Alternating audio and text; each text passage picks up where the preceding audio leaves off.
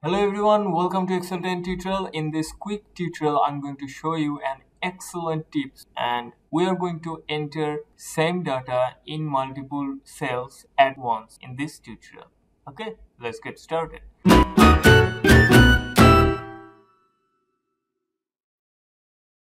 Now take a look at this worksheet here. We have a blank worksheet and let's say I want to enter data to different cells and I want to enter them at once. How you can do it? We are going to do it by selecting those cells. Okay. First click on control and click on the cells you want to enter data at once. Let's say I want to select this one, this one, this one and this one. And when you have selected the last cell, press spacebar so we are in the editing mode let's write something so we have written something here and let's press control plus enter and boom all the data has been placed and we have entered the same data to multiple cells at once using only a few clicks so this is what I wanted to show you. In this way, you can enter the same data to multiple cells at once in Microsoft Excel. Thank you. Thanks for watching. See you in the next tutorial. Stay in your home and stay safe. Thank you.